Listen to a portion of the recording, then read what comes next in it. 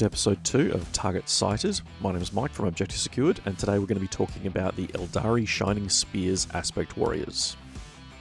The Shining Spears were first introduced to Warhammer 40,000 back in 3rd edition with the uh, new Codex Eldar, and were a hybrid plastic metal kit using the older sort of uh, chopper style Aspect Warrior jet bike combo. So the uh, model kits up until 9th edition have remained the same, although they had moved from fine uh, metal to finecast. The artwork that I can find for them online all is the same in that it does represent the older style jet bikes and riders, and they were very much a knight mounted on a horseback style feel. They were sat back in the saddle and they carry the iconic laser lance. So they are very much the crusading knight style for the Craftworld Aeldari forces. Their actual role on the battlefield hasn't changed much over the years, and they essentially form a shock assault style unit. They are fast, they are relatively durable when compared to most Aeldari units, they hit very hard, and there aren't too many of them, and they don't really like being hit back too much. What has happened in 9th edition, however, is they have been given a sideways movement in the way that you can use them. In the past, in prior editions, particularly 8th, we had a situation where you could double move them using the Psychic Power Quicken, and you could have squads of up to 9, which made them really powerful when they charged something. They also, because they didn't have an updated model, tended to sit on the 32mm smaller bases. With 9th edition, however, and the changes to the Psychic Powers, you now can't double move them with Quicken if you still want to charge, and they're now on the 60mm large bases, which makes them a lot more difficult to get multiple models into combat, particularly if you go over the 5 or 6. Now, thankfully, they changed it so the unit size caps out at 6. So that's a blessing and a curse. The Shining Spears themselves, though, uh, have a lot going for them, and I think a lot of people tend to have written them off. And I wanted to talk a little bit about some of the experiences I've had with using them in tournaments prior to the recording this, and also talk about what I'm hoping to do with them in the future. But first of all, let's take a look at what we're dealing with. The Shining Spears are a squad, like I said, of up to 6 models, 1 Exarch and 2 to 5 Shining Spears. Have a movement rate of 16 inches, a weapon skill ballistic skill 3 plus, strength 3, toughness 4, 2 wounds base, 3 attacks base, leadership 8 and a 3 plus save. The Exarch picks up an extra wound and an extra attack. They come equipped with a laser lance and twin shuriken catapults as standard.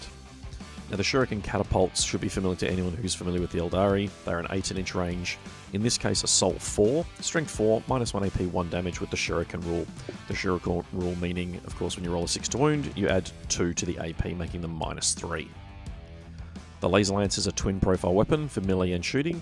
Shooting, it's a Strength 6, minus 4 AP, 2 damage, Assault 1 weapon with a 6 inch range. And in melee, it is a plus 1 Strength, minus 4 AP, 2 damage weapon. However, on the turn you charge, the attack has a strength characteristic of plus 3 instead of plus 1, making them strength 6. Now, at its core, if you just leave them completely standard at 35 points a model for the 6 of them, you've got a 210 point unit that puts out quite a significant number of attacks. It's 19 in total base. Now, that's 15 from the 5 regular guys and then 4 from the Exarch. Now, that alone at strength 6 minus 4 2 damage is enough to give anyone a little bit of pause.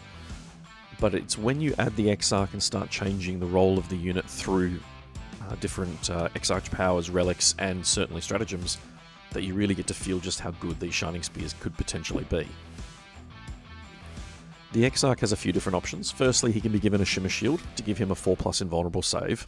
Now, the squad still has Aspect Armor, which makes them a 5 plus invulnerable save, save standard, However, I wasn't a convert to that five point spend, and I don't think it's essential. But having seen the Exarch tank hit after hit after hit in a couple of games now, I feel like that 4 plus is. If you're going to take these, these models in significant units to do damage, I think it's worth taking. The Exarch can also swap his Shuriken catapults for a single Shuriken cannon, which again is a very familiar profile to anyone who plays Aeldari. It's a 24 inch range, heavy 3, strength 6 minus 1 AP 2 damage weapon with the Shuriken rule. But most importantly, he can swap his laser lance for either a Paragon Saber or a Star Lance. The Star Lance is the, and has been, the default option for as long as I can remember it.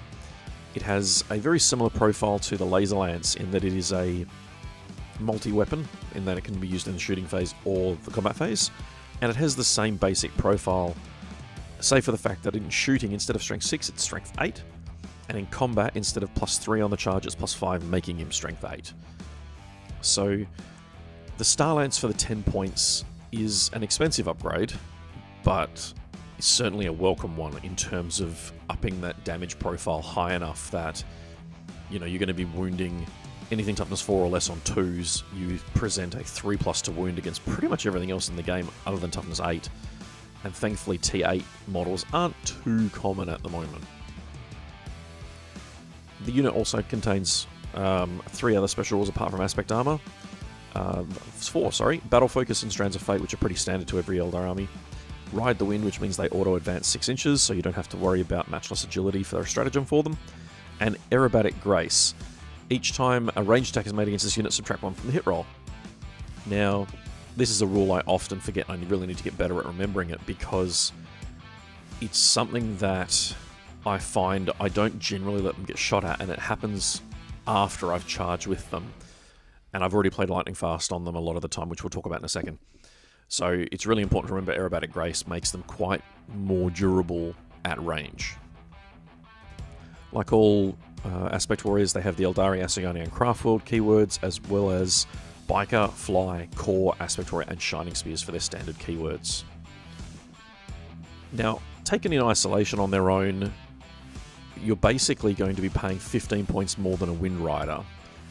And in terms of stat lines, you're, you're picking up some attacks, and you're obviously gaining the Laser Lance, the Invulnerable Save, and the minus one to hit but 15 points does feel a little bit on the expensive side when compared to a twin catapult uh, Wind Rider. So what you have to do is actually look at them in the light of the multi-tool that they really are, because you have the ability to treat them in a squad of six with twin catapults and a single shuriken cannon, much like you would Wind Riders. They're fast, they deliver a lot of shots, but what makes them so exceptional is the ability to then follow through on that and deliver killing blows to things, and that's what they're all about. So, how do we make them more powerful? Well, the first thing we do is we look at their Exarch powers. The Shining Spears have three Exarch powers, and I'll admit that uh, when I first read one of these, I was a bit disappointed. But having played with it now and understanding it a bit better, I can see why I was uh, wrong when I first looked at them. Now you'll notice I haven't mentioned one of the weapons on the datasheet that we've talked about, which is the Paragon Saber. And the reason is it's going to tie into one of these Exarch powers in a second, so we'll wait for that one. The first Exarch power is Expert Lancers, it's 20 points for the squad. In the fight phase, each time a model in this unit makes an attack, if this unit made a charge move this turn and contains the Exarch, add 1 to the hit roll. This is great. 20 points plus 1 to hit means that the entire squad hits on 2s. I don't think I can understate how good that is on a squad that is going to have that sort of 19 to 20 attacks where every hit matters.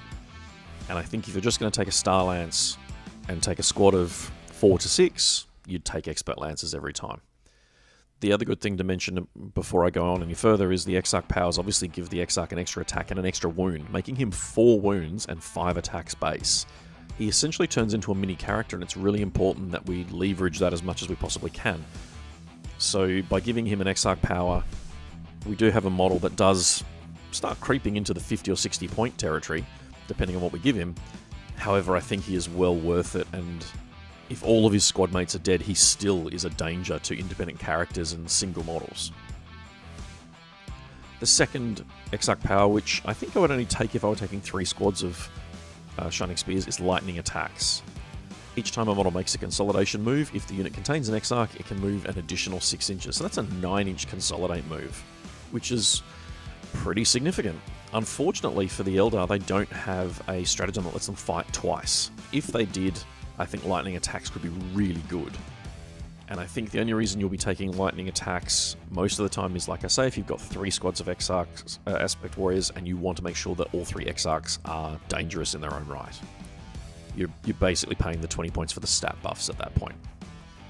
Because while a Consolidate move of 9 is impressive, because it has to be towards the nearest enemy model, this doesn't have a caveat that lets you move in any direction, and you can't fight twice, um, while it will let you tag sort of tanks and things that will then potentially limit their firing and you know external firepower, you certainly don't want to go from combat unit to combat unit and then get killed in your own turn. The third ability, which I, originally I completely ignored until I played with it is Heart Strike. It's a 15 point upgrade which only affects the Exarch. Each time the Exarch model makes a melee attack, an unmodified wound roll of 5 plus inflicts one mortal wound on the target in addition to any normal damage. That in itself feels fairly innocuous until you look at what you actually get out of this power, and it wasn't until I started playing that, like I say, I've, I discovered just how dangerous this is. So, with this um, power, and combined with the Paragon Saber, the Paragon Saber is a plus 1 strength, minus 4 AP, 1 damage weapon. However, every time the bearer fights, he makes one additional attack with this weapon, bringing him up to a very, very respectable 6 attacks. And they will be at weapon skill 3 plus and strength 4, minus 4 AP, 1 damage. That's already pretty good. Each time you attack with this weapon, you can reroll the attack's hit roll and wound roll. Fantastic. So we've now got 6 attacks hitting on 3s with a reroll, at strength 4, minus, one, uh, minus 4 AP, 1 damage with rerolls to wound. That's already fantastic. But then we stack Heart Strike with that, meaning that any 5s we roll to wound inflict a mortal wound. So quite often what you'll have is a situation where the Exarch fights, rolls 6 attacks, will often... I've never had him hit less than 5 times, generally it's 5 or 6. And because he's strength 4, he's in this really interesting situation where most of the time you're wounding on 5s anyway. I certainly in my experience fighting enemy Wraith Guards, uh, Death Guard, a lot of the models you're seeing these days are minus one damage, which means obviously the two damage lances aren't necessarily as good, uh, and they're often toughness five. So every time we roll a five, we get a mortal wound, and we still inflict a normal wound at minus 4 AP 1 damage. But we also get rerolls to wound because of the Paragon Saber, which means it's entirely possible, and I've had this happen once, you end up with five wounds, which is five mortal wounds, and then five saving throws at minus four one damage. I killed an Ork War Boss on bike in one round of combat. I've killed, um, you know, um, you, you get to a point where you actually overkill things with just the Exarch. And because they're all one damage, you're not affected by the, the minus one damage penalty for things like Wraith Constructs or Disgustingly Resilient. The downside, of course, is that the reason this works so well is the Paragon Saber. It's the combination of the two. The, the rerolls to hit, rerolls to wound, combined with six attacks, combined with mortal wounds. It's the only reason to ever really take the Paragon Saber is Heart Strike, and unfortunately you can't take it more than once because each Exarch power has to be unique. So I think if you're fielding one squad, I like I was using on the weekend at a, a tournament recently, I ran three Shining Spears with one Paragon Saber and Heart Strike, uh, Shimmer Shield, this squad's relatively cheap, it punches well above its weight because you can reliably go in and deliver harm to a very specific model thanks to the mortal wounds. And the two bodyguards, essentially, which is what they are, absorb firepower and wounds that come in before you start having to take them on the Exarch. Now, all of that stacks into a really, really good place. Three models at 35 points a model is only 105 points. The Paragon Saber is free, the Shuriken Cannon is free, Heart Strike's only 15 points, and the Shimmer Shield's only 5. So you're only paying 125 points for these three models that will just go in and, well, like I say, they'll reliably kill things well past what they should be able to kill. Any extra models gives you a bit more flexibility in what they can do on the table, and you obviously can afford to take a couple of casualties. The downside is at Leadership 8, they are 2 wounds and toughness 4 with a 3 up, 5 up, and minus 1 to hit. You do have to be mindful that you don't want to be in a position where you lose too many models and then the Exarch essentially auto flees. So they're definitely a candidate for Insane Bravery as the stratagem if you do end up in that situation. The squad of 3 worked really well for me because losing 2 models I could never fail morale. Now, if all of that weren't enough, we then can go on and use the Relic of the Shrine, Shrine's stratagem for one command point when we're building our army. This gives us access to two unique relics. They can only be applied to Aspect Warriors, and there is only one per shrine, so only one, one available for the Shining Spears. But it's a good one. The Shining Spear relic is called Khaine's Lance. It's an ornate jet bike that projects a potent energy field that blasts a gap in enemy defenses. Now this pairs so well in with the Paragon Saber. It only works for the Shining Spear Exarch model, and each time the bearer finishes a charge move, select one enemy unit within engagement range of the bearer and roll 1d6. On a 4 plus, the enemy unit suffers d3 mortal wounds. That enemy unit is not eligible to fight this phase until after all eligible units from your army have done so. What this is really important to recognize is that it finishes, uh, it happens in the charge phase for starters, because it happens when he finishes a charge move. So you have to make sure you get the Exarch into engagement range in the charge phase, so he can't be strung out and hiding at the back. But when he does end up in engagement range, 50% of the time he's delivering D3 more mortal wounds and forcing the enemy to fight after all eligible units have done so, essentially fight last. Now this is a double whammy, because for things that can only take so many wounds per phase, it actually gives the Shining Spears a really genuine opportunity to take out opposing Phoenix Lords or uh, anything with sort of six or seven wounds with that rule, because you can obviously shoot before you go in, then potentially deliver 50% of the time, deliver at least one mortal wound, and then deliver more in the assault phase. It's entirely possible to kill a Phoenix Lord in one turn just with these guys really comfortably and having the safety net of Khaine's Lance in case you don't quite manage the chip damage you need in the shooting phase. It's nice to have. I don't think many people can go wrong taking Khaine's Lance, and be, like I said, it does really pair nicely with the Paragon Saber to give you those like that further mortal wound stacks. I could see an argument for putting it in with a Star Lance with, um, with, you know, um, using uh, Expert Lancers because obviously it'll give you some mortal wounds in another part of the army, which is always beneficial. However, like I say, with my unit of three, I ran Khaine's Lance on my Paragon Saber and was never disappointed it's something that you should definitely be considering. Lastly, we're going to take a quick look at some of the stratagems and things that can be really useful for them. The first, um, like I've already mentioned, was lightning fast reactions for one command point.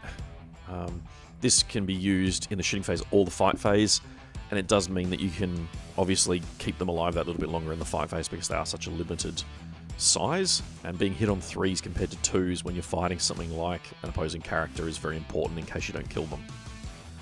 Feigned Retreat is also one that I used quite extensively with them. For one command point, it allows you to fall back and shoot or charge.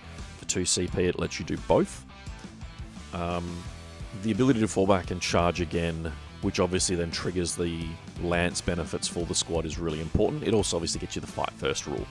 So for 1 CP, it's something that you, it allows you to make sure your Shining Spears don't get bogged down, and because they have the fly keyword, you can't really surround them and lock them in. Moving on to a couple of other stratagems, we have Bladestorm. Bladestorm is one that I've used extensively with Dire Avengers, but if you're going to take more than three Shining Spears, it's one you can consider for them. A squad of five or six has enough Shuriken shots that spending one command point on them, which means that an unmodified hit roll of six scores an additional hit, can actually give you a surprising amount of firepower from them. Uh, obviously, Bladestorm works really well with Shuriken cannons as well, and the squad does have one of those because it is free for the Exarch. I don't know why you wouldn't just take the, the Shuriken cannon every time there are two unique stratagems, two um, two different craft worlds that work really well for them. The Biel-Tan stratagem, which is Wrath of the Shrines, for one command point. It only works on Biel-Tan Aspect Warriors until the end of that phase. Each time a model in the unit makes an attack in the shooting or fight phase, an unmodified hit roll of 6 scores one additional hit. This is fantastic again with a Paragon Saber because now you're rerolling to hits and any sixes you get are more exploding attacks and with a Paragon Saber that leads to more mortal wounds. So Wrath of the Shrines is one that will allow a unit of Shining Spears, particularly full squad of six, to go into a much, much stronger model count-wise unit and take it out. Even units that are minus one damage have to be a bit concerned when you go in with 22 or 23 attacks with exploding sixes. Uh, particularly at strength 6 minus 4 and uh, you know obviously flat 2 reduced to 1 you can still reliably take out you know squads of multi-wound models pretty quickly the last and probably the most straightforward strat that's available to them actually comes from the Saim-Hann craft world. The craft world attribute itself, Wild Host, is great for them. It allows them to reroll failed charge rolls built in, which is so good. It also allows you to declare a charge in a turn in which they fell back. So this is great if you don't have Feigned Retreat.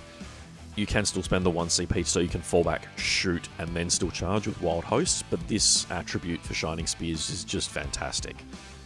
the the ability for this to just circumvent some of the real limitations of Shining Spears so that you can't tie them down is great. And then we get their stratagem. And for one command point, Warriors of the Raging Winds allows you to charge even if you advanced. So we move 16 and advance 6, so we've got a 22 inch move, and then we can still charge. And because we're Saim-Hann, we do get a reroll as well. So if you deploy them relatively close to your leading deployment zone edge, it's entirely possible to turn one charge with this unit. It is only one unit, but my gosh, it's fantastic for when you need to cover ground quickly and still make an impact. Now, obviously, because of battle focus, all of their assault weapons as well means they can move 22 inches, fire all their shuriken catapults, not the cannon because it is a heavy weapon, um, and then still charge is just an insane amount of pressure in a really short space of time. And I could easily see this being a two or three turn punch where you are able to deliver the first unit with a bunch of fire support and then deliver another unit in turn two, guaranteed, potentially both. And then in turn three, you can redeploy into another combat the ability to fall back and still charge again is still there. It just gives so much mobility to the Shining Spears. So that's our Shining Spear discussion for today. I hope you've enjoyed it. I really do think they're worth giving it a try. I've got an army in mind that will feature three full squads of six, and once that happens, you can keep an eye out on the Objective Secured Facebook page and website for my conversation when I actually do put that army on the table. I've got two squads of six so far. Let's see when I can get the third one on the table, and we'll go from there. In the meantime, if you'd like to see any particular unit checked out in this series, please let us know in the comments. Otherwise, we'll see you again soon. Thanks for listening.